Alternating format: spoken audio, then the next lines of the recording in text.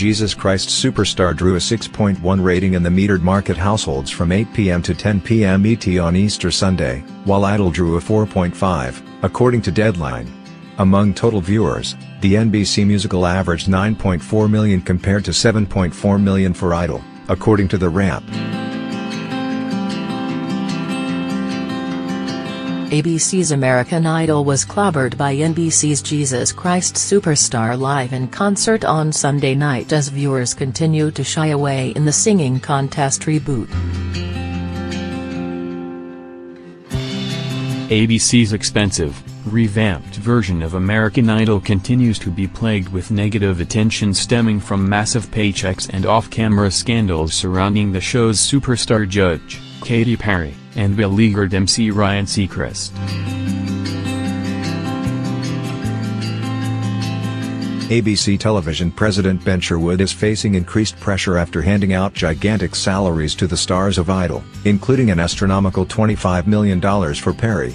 If Idol doesn't work, it will blow up big time in Sherwood's face, a source told The Post.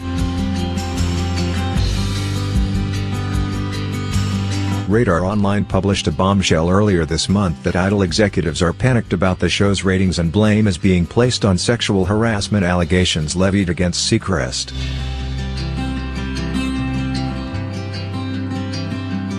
Producers for Idol are flipping out after they were crushed in the ratings war by NBC rival show The Voice, a network insider told Radar Online.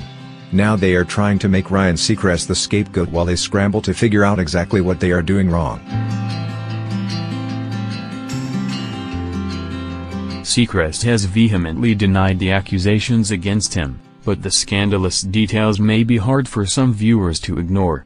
Seacrest's accuser, Susie Hardy, has publicly come forward, claiming the star grinded his erect penis against her while clad only in underwear. She also accused him of grabbing her vagina and slapping her bottom with such force that she had a large, visible welt for hours. Comedian Kathy Griffin recently spoke out against Seacrest, telling the New York Daily News that it's important that his accuser is heard and that ABC and Idol are essentially covering for him. The ABC machine comes in and covers his A and the American Idol machine comes in and covers his A. I'm not going to accuse Ryan of something I don't know of but I'm also not going to have his back. He's fine and wouldn't PS on me if I was on fire. Griffin told the paper.